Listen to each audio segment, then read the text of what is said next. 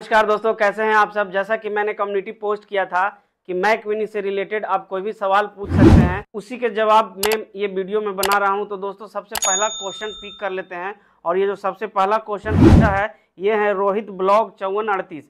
इन्होंने पूछा है कि थ्री एनिमेशन के लिए क्या मैक मिनी सही रहेगा पीसी से? कि ब्लेंडर नाम का एक ऐप आता है जो कि बहुत सालों से थ्री एनिमेशन के लिए ही बहुत ही शानदार सॉफ्टवेयर है ये ऐप है बिल्कुल कमाल का एक्सपीरियंस देता है जिसकी वजह से जिसको हेल्प लेकर के आप थ्री एनिमेशन कर सकते हैं कार्टून वगैरह बना सकते हैं तो ये एक बहुत बड़ा ऐप है और इसके बारे में आप गूगल कर सकते हैं बहुत सारी जानकारी आपको मिल जाएगी। दोस्तों अब अगला क्वेश्चन लेते हैं। अगला क्वेश्चन जो है वो class eight answer one zero six नाम से है। इन्होंने पूछा है कि इसके साथ कितने मॉनिटर यूज़ कर सकते हैं। तो भाई, आप टीचर हैं तो सर, आपको मैं बता दूँ, तीन मॉनिटर इस्तेमाल कर सकते हैं बिना कोई हब के। और अगर मॉनिटर कैसे इस्तेमाल करना है 4K मॉनिटर चलता है या नहीं, इस पर आज ही मैं पोस्ट किया हूँ। आप उस वीडियोस को जाकर के देखिए, आई बटन में मैं लिंक दे दे रहा हूँ। उस वीडियो में मैं बताया हूँ और कनेक्ट करके दिखाया हूँ एक से अधिक मॉनिटर को इस मैक मिनी में। तो मैक मिनी के साथ किस प्रकार से मॉनिटर इस्तेमाल कर सकते हैं? एक से अधिक।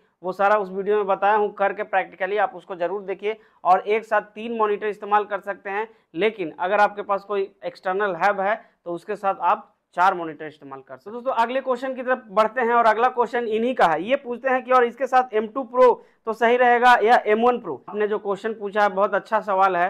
तो इससे रिकॉर्डिंग बहुत सारे वीडियो में पोस्ट किया हूँ। चैनल पर आप पूरा प्लेलिस्ट है मैक मिनी का आप जाकर के चेकआउट कर सकते हैं। आपका जो डिपेंड करता है कि आपका वर्क कैसा है, अगर आप प्रो वर्जन यूज़ करना चाहते हैं तो इसका मतलब आप बहुत ज़्यादा हैवी वर्क करना चाहते हैं, तभी प्रो वर्जन लेना चाहते हैं। लेकिन अगर आप चाहते हैं कि M2 वर्जन ही सिर्फ़ लें नॉन प्रो वर्जन तो उसके लिए बहुत सारे वीडियोज़ हैं, जाकर के आप चेकआउट कीजिए कि उस वीडियोज़ में मैं बताया हूँ कि किनके किनके लिए M2 है eight G B sixteen G B सारा कुछ है। आप जाकर के चेकआउट कीजिए, सारा का लिंक डिस्क्रिप्शन में होगा। या आई बटन में आपको देखने को मिल जाएगा। दोस्तों अगला क्वेश्चन की तरफ़ चलते हैं। अगला क्वेश्चन गालिब ज़ीरो ज़ीरो डी पूछे हैं। इमुलेटर पर नॉर्मल गेमिंग हो जाती है क्या? इसमें बिल्कुल इमुलेटर पर बहुत सारे गेमिंग हो जाती है। आप जैसे यूज़ करते हैं अपना विंडोज़ का और अपने एंड्रॉयड का सारा कुछ चल जाता है। इस पर बहुत सारे आप सर्च कीजिएगा। यूट्यूब पर वीडियोस मिल जाएगी नहीं तो कुछ समय के बाद मैं ही बना दूँगा। इसलिए ऐसा टेंशन नहीं लीजिएगा सारा कुछ बिंदास चलने वाला है। अगला क्वेश्चन है सत्यम कुमार जमुई का। सत्यम कुमार जमुई साहब पूछते हैं, और द विंजी रिजॉल्व के अंदर क्या क्या फ्री है और क्या क्या पेड है? इन्होंने बहुत अच्छा क्वेश्चन किया है और इसका जवाब थोड़ा सा लंबा होने वाला है, क्योंकि ये जो सवाल है, इसमें जो दाविंजी रिजॉल्व है, ऐसे तो ये पूरी तरह से बिल्कुल फ्री सॉफ्टवेयर है, लेकिन इसके अंदर बहुत सारे जो ट्रांजेक्शन है, बहुत सारे इफ़ेक्ट और बहुत सारी चीज़ें जो है, वो आपको खरीदना पड़ता है। तो इसको बोलते हैं द विंजी स्टूडियो।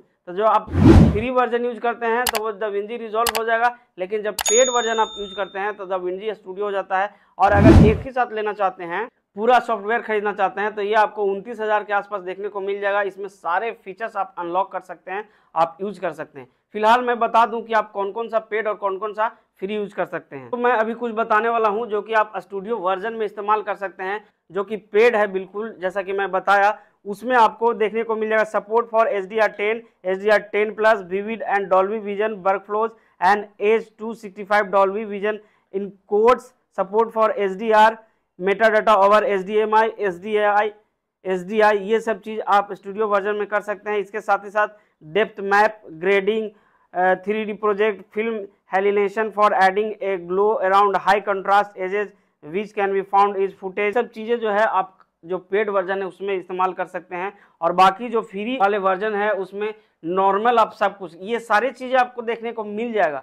जितना भी चीज़ आप, मैं बताया, दिखा रहा हूँ, ये सारी चीज़ आपको फ्री वाला में देखने को मिलेगा, लेकिन कुछ लिमिट ही रहेगा। इसका मतलब ये है कि पूरी प्लेज आप दविंजी रिजॉल्व नहीं यूज़ कर सकते हैं, उसके लिए आपको पैसे देने पड़ेंगे। और दोस्तों, इसका एक अच्छा उपाय ये है कि अगर आप द विंजी रिजॉल्व नहीं खरीदना चाहते हैं तो इसका जो कैमरा आता है इसके कीबोर्ड्स ये सब आते हैं जो उपकरण आते हैं अगर इसको खरीद लेते हैं तो उसके साथ आपको द विंजी रिजॉल्व जो एप्लीकेशन है ये जो सॉफ्टवेयर है ये बिल्कुल फ्री ऑफ़ कॉस्ट मिल जाएगा। तो अगर आप खरीदना चाहते हैं तो डायरेक्ट इसको मत खरीदिए। आप सीधे कोई ना कोई कैमरा ले लीजिए या माउस ले लीजिए कीबोर्ड ले लीजिए कुछ भी ले लीजिए कि उसके साथ ये बिल्कुल फ्री ऑफ़ कॉस्ट देखने को लास्ट क्वेश्चन की तरफ़ चाहते हैं और लास्ट क्वेश्चन भी इन्होंने ही पूछा है सत्यम कुमार जमुई से ये पूछते हैं कि मैक मिनी M2 में अगर 1080 पिक्सल मॉनिटर ऐड करेंगे तो क्या उसमें 4K एडिट होगा? बिल्कुल क्यों नहीं होगा? इस पर मैं वीडियोस बनाया हूँ दो तीन दिन पहले ही। आप जाकर के उसको चेकआउट कीजिए, कैसे एडिट होती है। बिल्कुल 4K एडिटिंग का आप देखिए आई बटन में दे ही दूँगा लिंक तो आप बिना बेधड़क कीजिए, आप 4K एडिट कोई भी मॉनिटर पर कर सकते हैं, ऐसा कुछ नहीं है। तो दोस्तों, ये था आज का वीडियो और दोस्तों, और ज़्यादा से ज़्यादा क्वेश्चन कीजिए। मैं हमेशा कुछ ना कुछ पोस्ट करते रहूँगा इसी तरह से कम्युनिटी पोस्ट पर जो सवाल पूछना होगा, आप लोग सवाल ज़रूर पूछिएगा। दोस्तों, ये क्यू एंड ए का सेकंड एपिसोड था, इससे पहले मॉनिटर पर मैं बनाया था तो ये कैसा लगा? अगर इन्फॉर्मेटिव लगी वीडियो तो आप अगर नए हैं सब्सक्राइब ज़रूर कर दीजिएगा लाइक ज़रूर कर दीजिएगा शेयर ज़रूर कर दीजिएगा। मिलते हैं फिर किसी और वीडियो में, तब तक के लिए बाय